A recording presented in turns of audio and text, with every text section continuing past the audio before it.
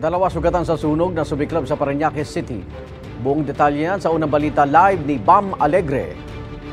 Bam! Igan, isang residential fire sa Mamamanti Street, Barangay San Dionisio, Parañaque City ang sumiklab kaninang uh, madaling araw. Ito ay bago mag alas 3 ng umaga, nag-ideklara yung first alarm.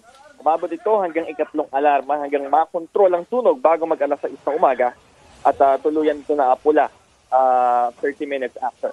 Ayon sa BSP, dalawang sugatan, isa may puncture wound sa braso at isa naman na may first degree burn sa parehong braso. Estimated na 20 bahay ang uh, naapektuhan at uh, iniimbestigahan pa ng Bureau of Fire Protection ang sanhi ng apoy. Ito ang latest mula rin sa Parañaque, Bam Alegre para sa GMA Integrated News.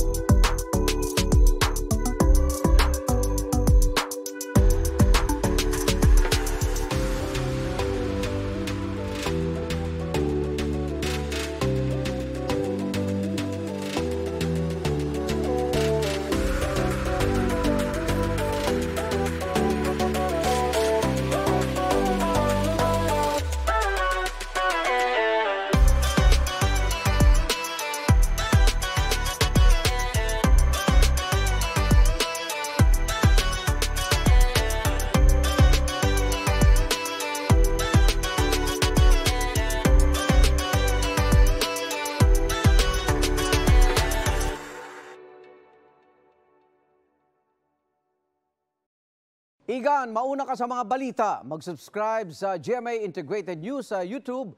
Sa mga kapuso abroad, subaybayan nyo kami sa GMA Pinoy TV at sa www.gmanews.tv.